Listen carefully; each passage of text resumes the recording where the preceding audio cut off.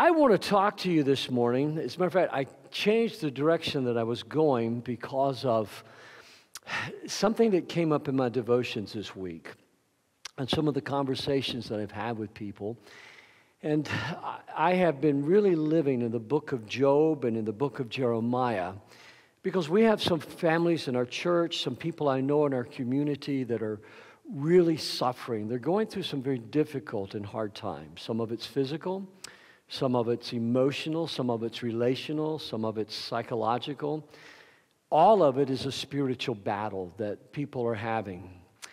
And as I've just been living with the book of Job and the book of Jeremiah, I was talking to one of my brother in laws the other day, and he goes, Oh, I can't hardly stand to read Jeremiah. He says, When it comes up on my annual Bible reading, I just go ahead and read it as fast as I can and get it over with. And I'm sure that there's some people feel that way about the book of Leviticus or something like that, but I, I've really been living in this book. And I have to tell you, I'm finding such great encouragement in Jeremiah. Jeremiah is known as the weeping prophet, and in the story of Job. Recently, in a movie, I, I heard Job referred to, and fortunately, it was referred to in the right way of how that God pulled Job through his sufferings. And it wasn't an attack on God, it wasn't an attack on Christianity, and you know, it wasn't a Christian movie, it was just a movie about God pulling people through. And I, I thought it's so easy for us in the midst of a battle, emotionally, spiritually, physically, psychologically, it's so easy for us to lose focus that God's going to pull you through. One of the families in our congregation told me this week, they say, Pastor, and they're going through a difficult time, a difficult time physically, and said to me, Pastor, we find ourselves saying all the time something that you say at church.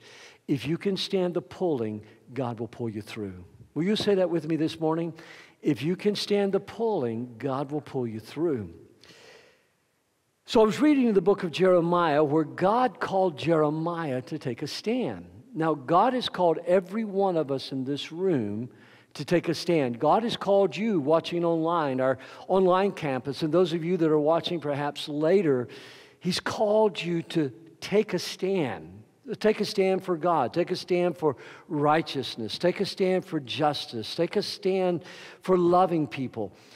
And in Jeremiah's standing for the Lord and being faithful, he became persecuted. And Jesus told us that if we take a stand for him, if we follow him, that we're going to suffer persecution. And so Jeremiah is rejected, he's turned upon. Job's friends rejected him in a sense, they turned upon him. And maybe you've been at that place in life where you've taken a stand for the Lord and people have rejected you. Following Jesus is kind of like a magnet. You know, a magnet has an attraction quality, but it also has a repelling quality as well. There's some things that uh, when magnets are turned, it will repel things rather than attract things. Following Jesus is a lot like that. There are some people that are attracted by the goodness of God, the love of Jesus, the grace of God, the miracles of God.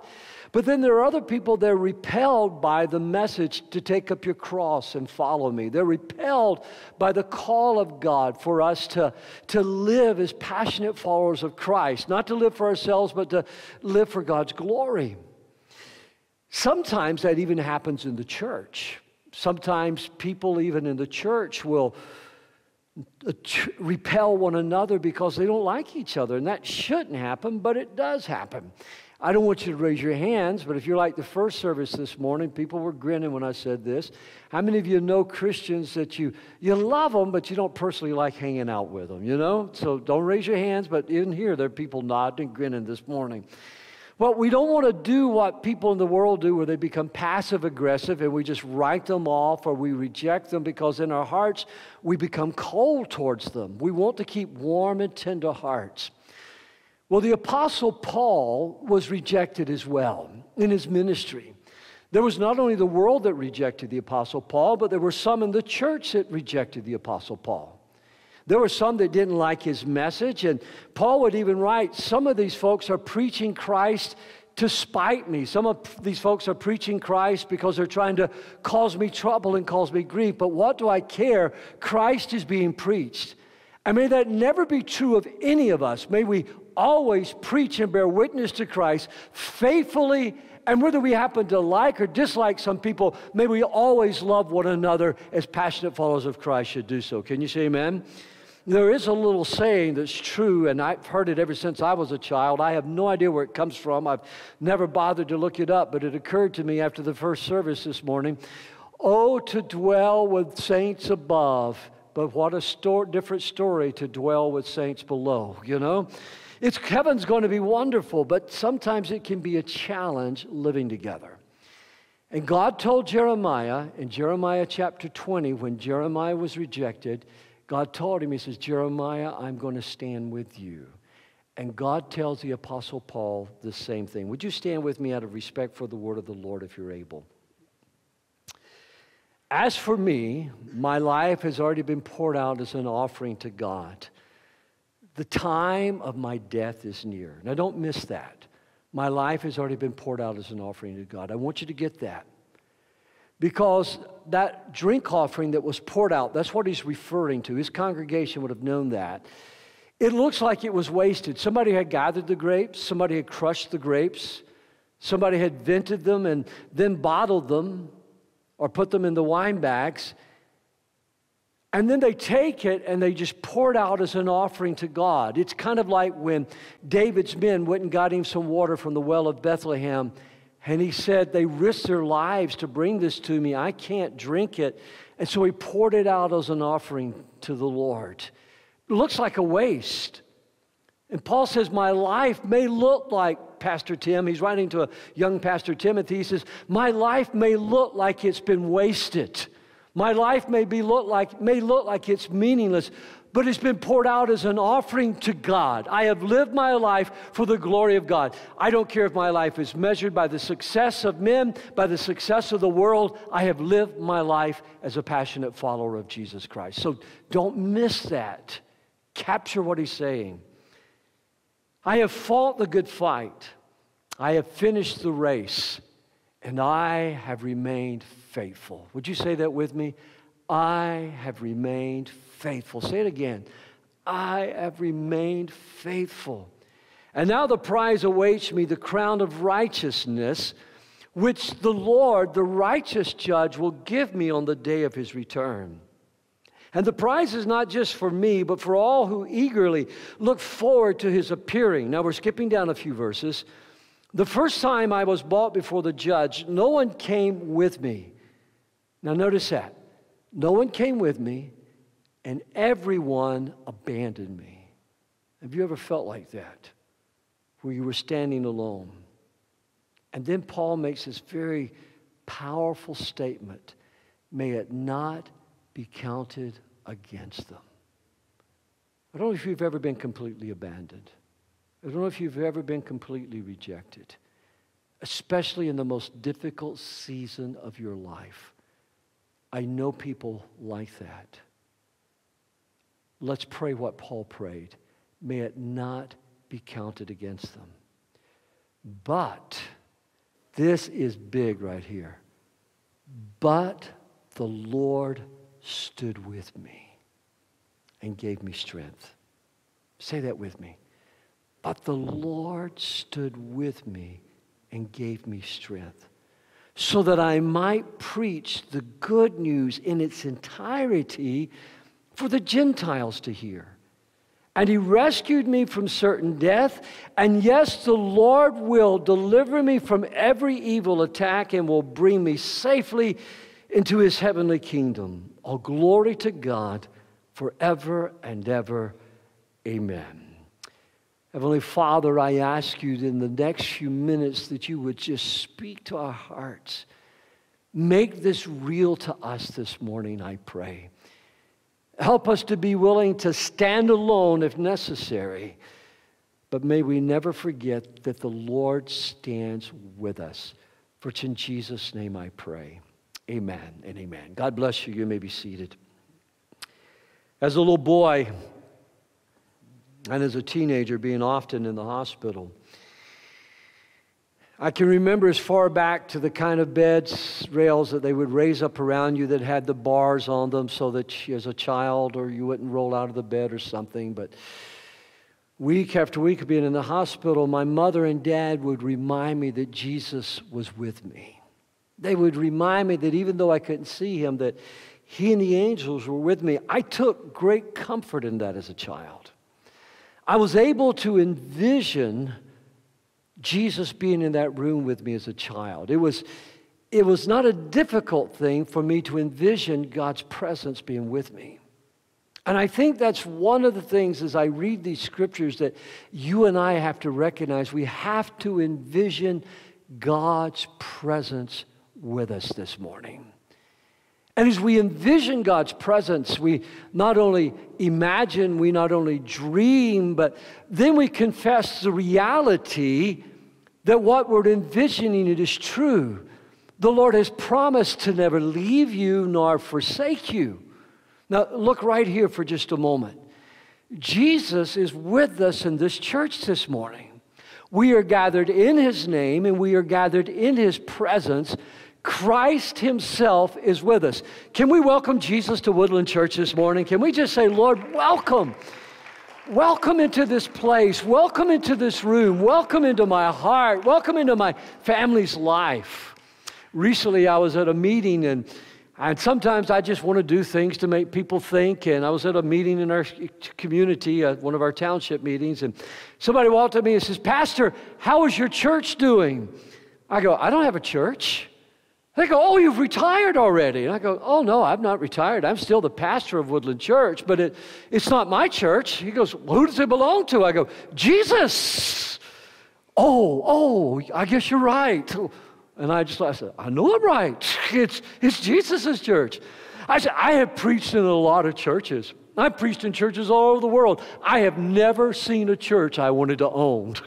Sometimes I feel like Moses. These are your people, God. You called me here. These are your people. of course, he's laughing, and but I think he got it. It's this is his church, and he is here with us. The way I look forward to my kids coming home for Christmas and gathering them around the, the dinner table and the tree and celebrating. Envision the presence of God with you. Never forget this verse in 2 Timothy 4:17. The Lord stood with me, gave me strength so that I might preach the good news in its entirety for all the Gentiles to hear. If we don't remember that the Lord is with us, then we can hesitate upon the fullness of the message. We can hesitate upon declaring all that God's word says. Are we a church that is concerned about justice? Yes. Are we a church that's concerned about feeding the hungry? Yes. Are we a church that's concerned about seeing people get a good education? Yes. Are we a church that's concerned about peace? Yes. Are we a church that's concerned about Bible teaching? Yes. But we are also a church that believes that all people must come to God through faith in Jesus Christ in order to be saved and born again. We cannot leave that part of the message out. We must preach the whole gospel. And so, what Paul preached, it did include peace. It did include feeding the hungry. It did include seeing that people had what they need. But he was always faithful to the message. The center of all he preached, he said, was the cross of Jesus Christ. And why the cross? Because through faith in him who gave his life for us on the cross and died for our sins, was raised again on the third day, and is coming again, we can be saved. And so we envision the presence of God with us even when people reject. Most people won't reject you for peace. Most people won't reject you for feeding the hungry. Most people won't reject you for being concerned about somebody else getting an education. But the moment you preach Jesus in his fullness, then you run the risk of being rejected. And that's what Paul was saying. I envision God's presence. The second thing I take from the scripture that I want to live like Paul did was live fearlessly. Don't let the enemy somehow or another make a coward out of you. Don't let the enemy make you timid. He would also write these words to young Pastor Tim. He would say, Tim, look at me now. Look at, don't miss this. He'd say, Rich. He'd say, Debbie. He'd say, Amy. God did not give you a spirit of timidity, but He gave you a spirit of power and of love and a sound mind or self control. That's what God gave you. You're not crazy for believing in Jesus. You're not crazy for believing that Jesus is coming again. So don't back down off of any part of the message, but instead press forward with the call of God. Now, Paul, like Peter, wrestled with something that most of us in this room don't have to wrestle with. We know he wrestled with it because he talks about it frankly in this passage, and that is that everybody abandoned him.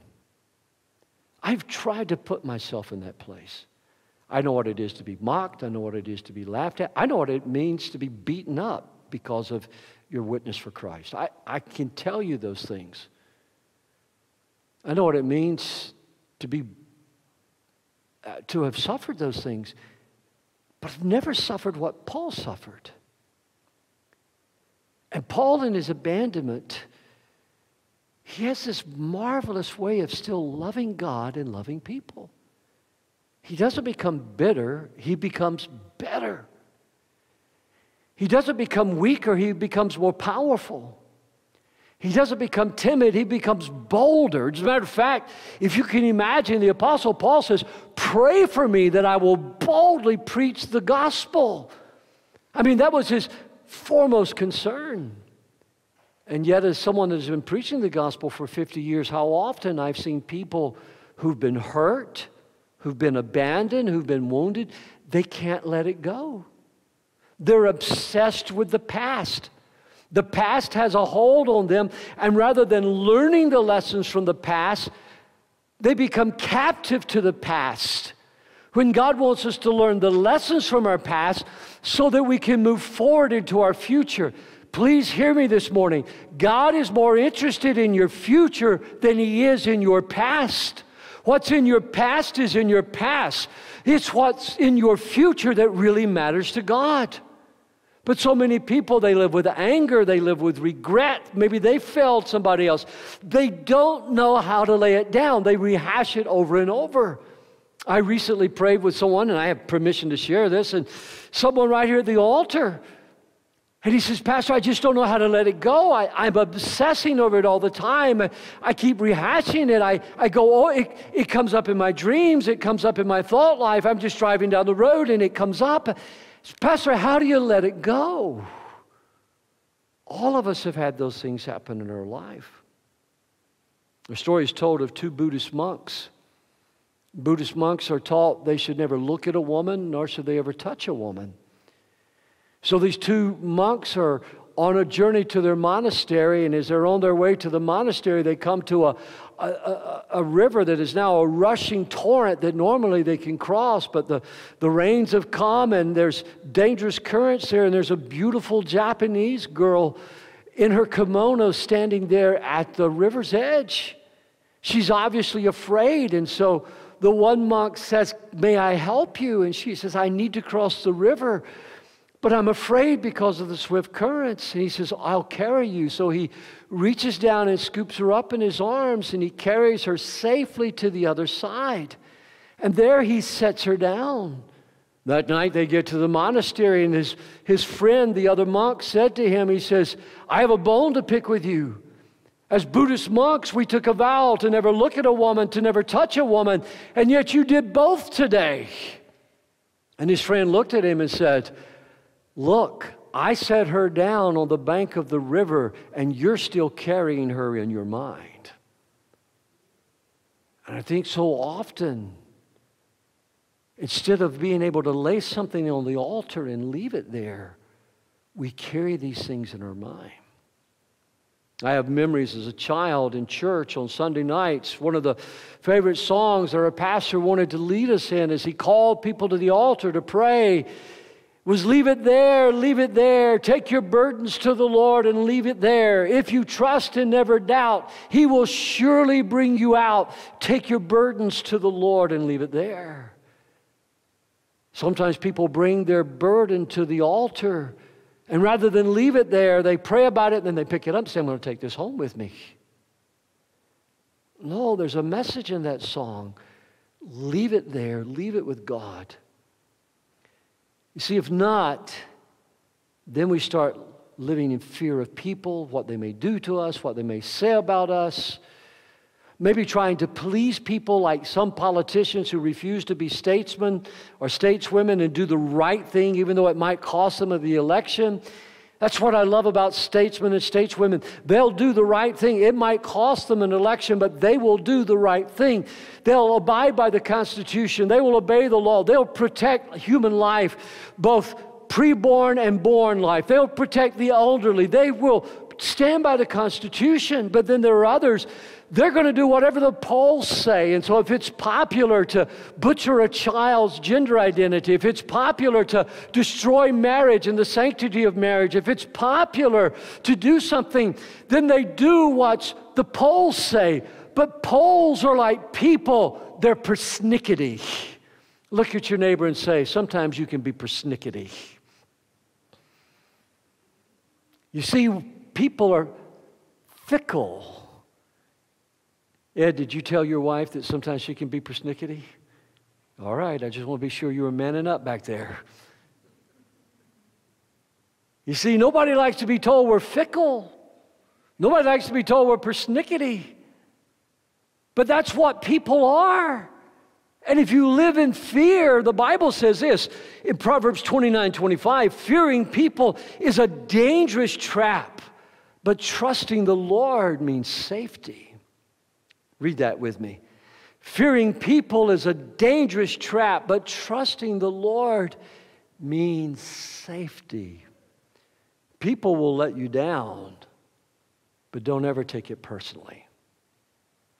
People will let you down, but don't ever take it personally. Jesus said in John 15 and verse 18, If the world hates you, remember that it hated me first. People will let you down, but forgive them. Verse 16, Paul says, Everyone abandoned me. But he then goes on in verse 16 to say, May it not be counted against them. See, Pastor, how do I forgive? The same way you bring something to the altar, you leave it with God. If I take this iPad, and I won't lift it high, but if I take this iPad and I drop it, that's what it means to forgive. When I say, God, I'm not going to hold this grudge, I'm going to forgive. Now, understand what I'm saying.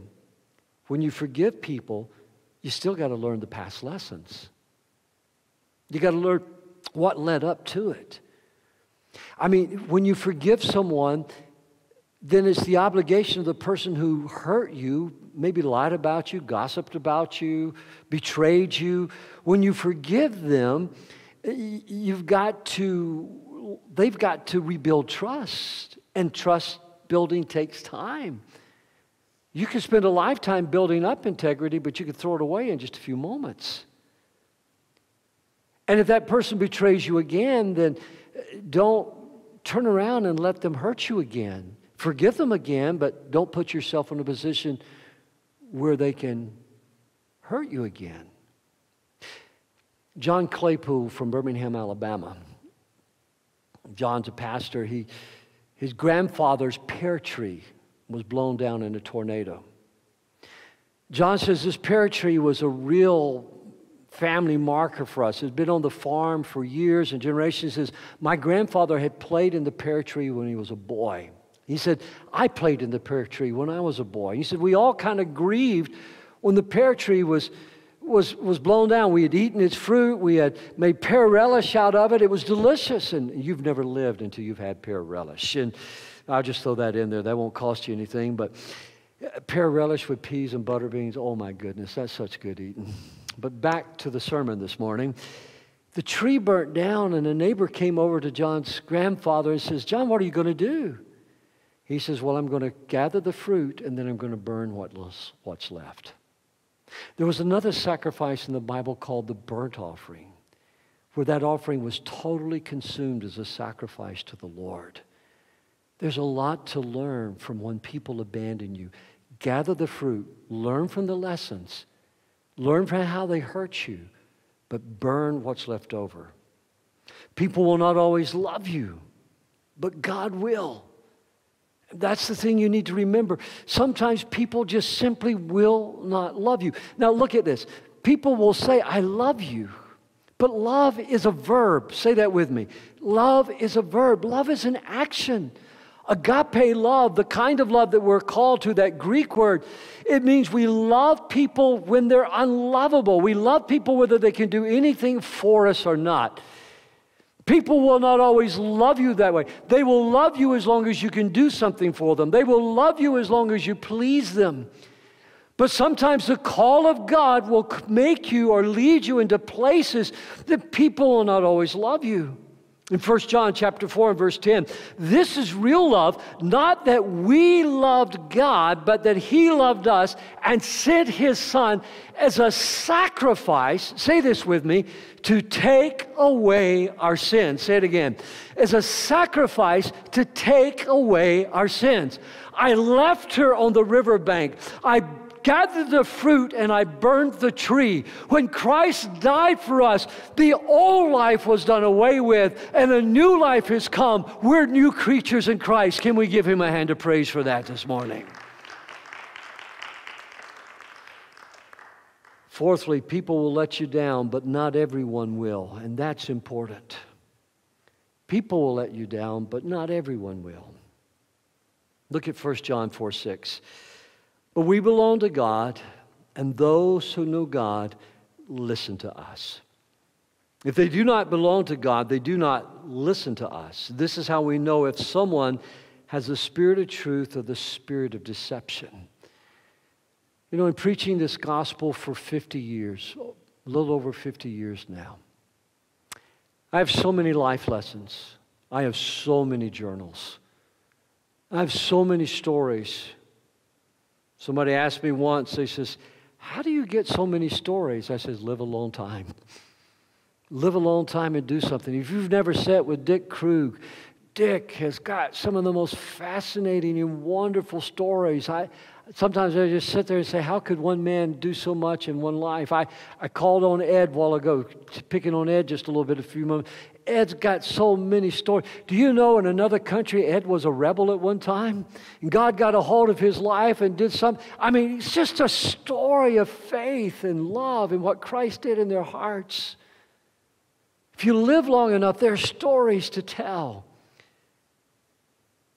You see, there will always be people that let you down. But I can tell you the people who stood by my side through the years. I can tell you of a congregation called Woodland that we've done life together. And one of the lowest points in my life when I was so sick and just days away from death, a group of pastors and friends in Macon, Georgia that I hadn't seen in years called a prayer meeting and says, Pastor Dennis is sick. We're going to pray for him. I can barely remember it, but I, I remember the voices. But Becky laid the phone on the pillow beside my head in the hospital, and, and I remember Billy Thomas going, Pastor Clanton, we're all gathered here and we're praying for you tonight. And there was this din coming out. And the doctor who just told us a week before I had less than two weeks to live came running up the stairs not long after that phone call. He said, I just had an idea. It will work, I think. It'll, he says, it may not work, but we don't have anything to lose if you're willing to try it. And now that surgery is being used as a teaching surgery at major hospitals and major universities across the country. Video of the surgery done on this body that came as a result of God answering those prayers. People that had given up on me, people that when I was in the hospital told me they could not no, any longer worship at Woodland because if I was a man of faith, I wouldn't be sick. I've never told some of this. Told me, because one man, that I had helped him get his job, I'd helped him get established and pray with him through some difficult things. And I've never preached anything like that in my life. And he called me up on the phone and he says, You'll never see me at Woodland again because you're not a man of God. Because if you're a man of God, you wouldn't be sick. Somebody else came in and says, If you don't fire this staff member, I'm leaving the church. And I had tubes coming out of my mouth and my nose, and it says, Then you'll have to leave the church because I'm not firing them. There will be people that will let you down, but not everyone will. And those that don't will stand by you. And if one can put to flight a thousand, two can put to flight 10,000. Somebody say amen this morning. Never forget those that are standing with you. So, three things that I'd like to apply this to us is number one, there are people in our world being persecuted. Let's pray for persecuted believers. Let's intercede for them. Let's, secondly, let's learn from them. How are they so bold how is it that they risk their lives to gather to worship? And sometimes, if it's just not convenient, we don't gather to worship. How is it they are willing to give their very life? And sometimes we struggle to give our tithe. How is it where they're willing to lay everything on the altar? When in Saudi Arabia, they're offering over $10,000 rewards if you will tell them where there's a secret Bible meeting going on. And Christians are gathering with a price on their head. Thirdly, let's support world missions financially and prayerfully. So, Pastor, why would you put financially and prayerfully there? Because this is what I've learned in my short life. Look at me, don't miss this. People who give to missions, pray for missions. People who give to Woodland Church, pray for Woodland Church. When you give to something, you pray for its good success. And then finally, keep your eyes on the prize. Keep your eyes on the prize. I can't wait for Jesus to come back. I'm so eager for that. Every day, my heart longs more and more. I, I, don't know if you're like me, but some beautiful days I am driving down the highway and I look up in the sky and I say, Jesus, this is a good day to come back. Especially if I'm driving facing east, knowing that the, that eastern sky could split open and we could be, those of us which are alive, uh, those who have died in Christ will rise first, and then we which are alive and remain will called up to meet the Lord in the air forever. I find myself just driving and saying, Maranatha, Maranatha, come quickly. Do you ever feel that in your heart? Jesus, come soon.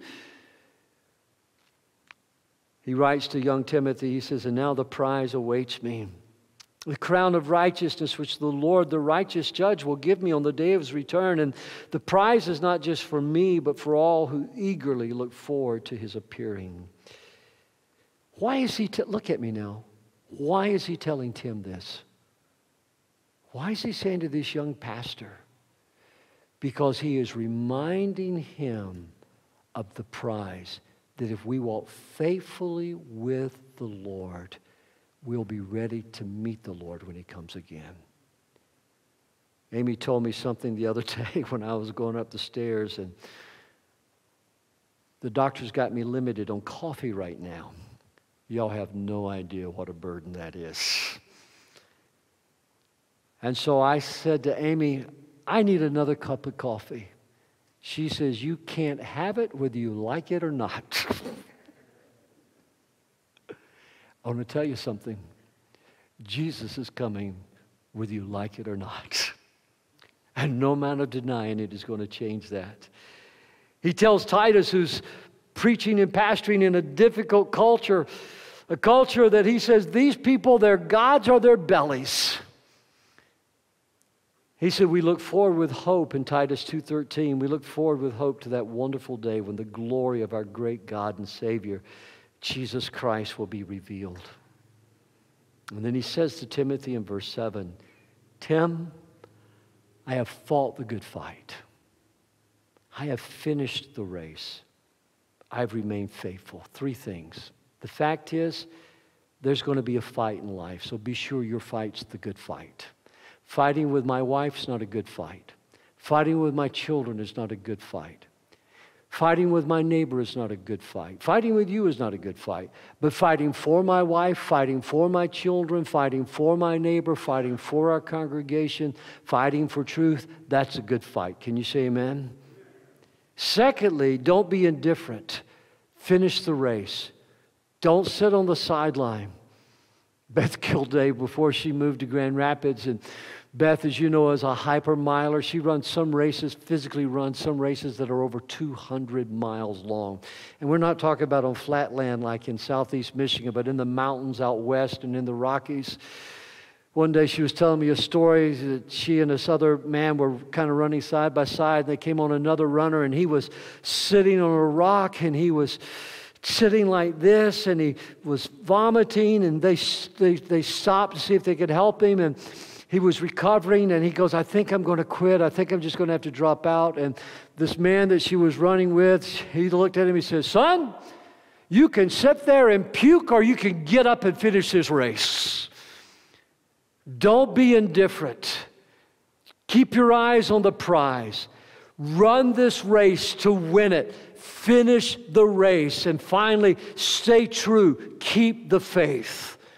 Not just a doctrinal faith, but keep your faith strong and warm because remember, God will stand with you. Somebody say amen this morning.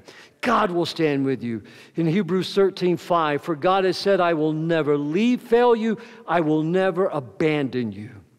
Everybody else may. Paul said they did him, but not God. God will always be there. Don't fret over the unfairness of life. Don't fret over some. There's been some painful things that happen. It may be cancer, it may be death, it may be a divorce, it may be financial reversal, it may be the loss of job. It may be a hurricane in South Florida. It may be an earthquake in Nepal. You can spend time fretting over the unfairness of life, or you can keep your faith alive and real in Jesus. For God does make all things work out for the good of those who love Him and for those that are called according to His purpose. Can somebody say amen to that? You got to keep that faith. God will bring good out of your pain. But because God was so gracious in 1 Corinthians 15 10, but because God was so gracious, very generous, here I am. Hallelujah. That's my testimony. That's why I'm behind this pulpit this morning. Because God was so gracious. It was God giving me the work to do, and God giving me the energy to do it. Some of you, you need the strength and the energy of God, and He wants to release that in your life this morning. So, why? Why leave it on the bank of the river? Why gather the fruit and burn the tree? Why pray, may God not hold it against them? Because God is more interested in your future than he is your past.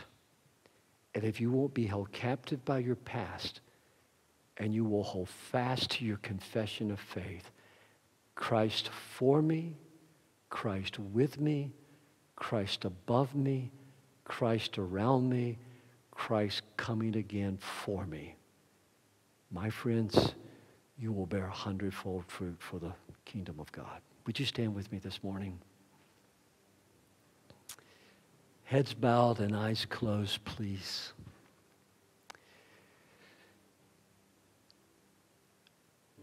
Lord, it may appear sometimes like our lives are like a drink offering. And I'm just being honest, Lord, there are some people very difficult to like, sometimes very difficult to love. But you call us to love not only the lovely, but the unlovely. You call us to love our enemies. And frankly, Jesus, I can't do that without you. I can put on a mask, but you see my heart. And some of us, Lord, the past has got a hold on us. We're obsessing over it. And rather than gathering the fruit, Lord, we're trapped. And I ask you in the name of Jesus, may we leave it there on the altar today and not take it home with us. Heal us of our wounds. Energize us with grace and forgiveness. Let us taste the sweet wine of freedom, and liberty, and joy that comes when we are like you and we can forgive. And Father, make us mindful that we are so blessed and that you stand with us like you did with Jeremiah, like you did with Peter, like you did with Paul, you do with all of us today.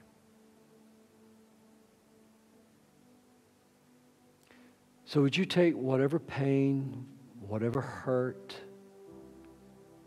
wherever you feel abandoned, and would you tell the Lord that right now?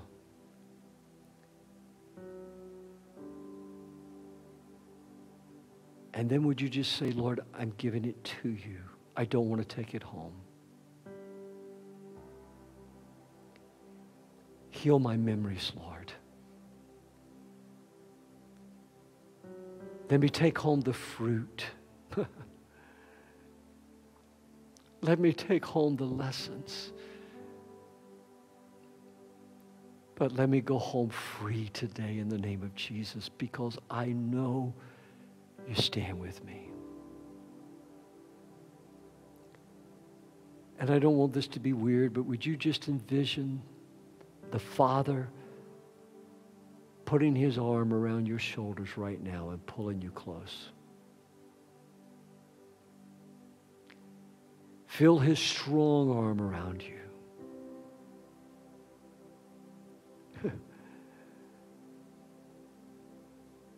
and say this my Father, which art in heaven, hallowed be thy name. Thy kingdom come, thy will be done on earth as it is in heaven.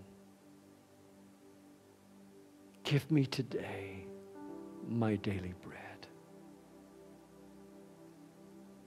Forgive me of my trespasses as I forgive those who trespass against me. Lead me not into temptation, but deliver me from evil. For thine is the kingdom and the power and the glory forever and ever. Amen. Now may the Lord bless you. May the Lord keep you. And may you go home knowing God is with you today. In Jesus' name. You're dismissed.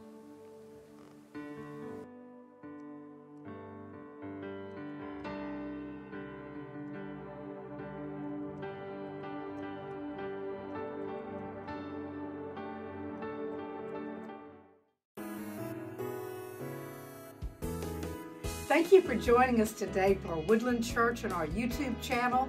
I hope you'll take a moment and click that subscribe button and also click the notifications bell so that you'll know when new things are posted. We're always putting new material up so that you can be a part of everything that's going on. We want to share those with you and we hope that they will encourage you and strengthen you in your faith as you watch.